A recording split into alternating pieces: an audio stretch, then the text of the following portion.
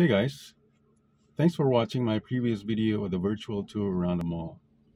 For the most part, I thought the DJI Pocket 2 did very well, but there is one issue that you may have noticed with bright objects like backlit signboards.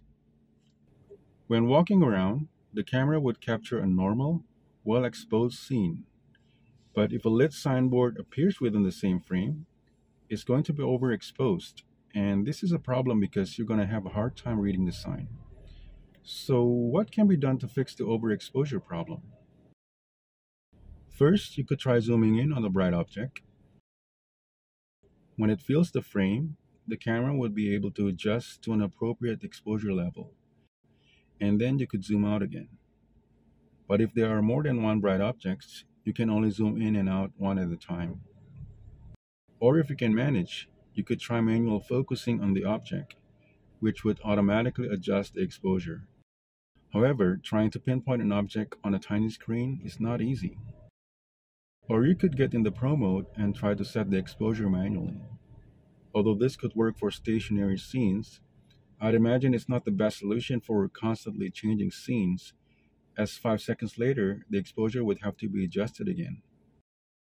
And finally, the HDR mode is supposedly designed to solve the problem by shooting and combining four images of different exposure levels simultaneously.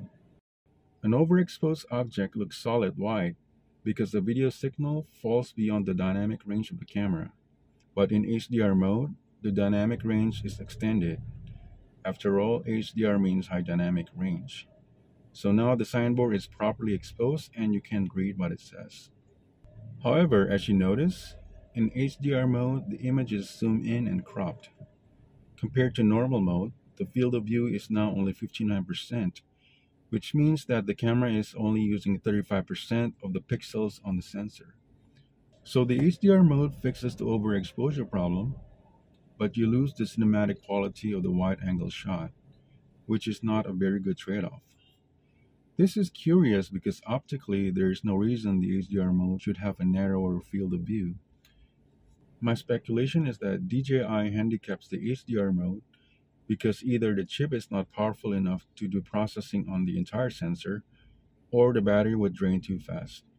So let's hope that this handicap is removed in the next version of the DJI Pocket camera. Alright, that's it for now. I hope you get something out of this video. Let me know what you think in the comments. Until next time, thanks for watching.